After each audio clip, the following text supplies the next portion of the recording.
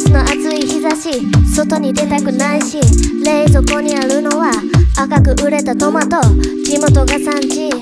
見事再会。離れていたとしてもつなげてくれるんだ。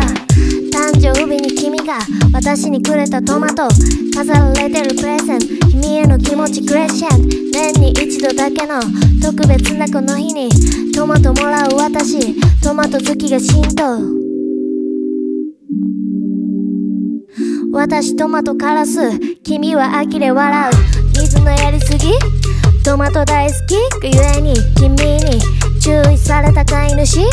切ない思い出がよみがえる。ふ人とのつながりやあの日の記憶やトマトの花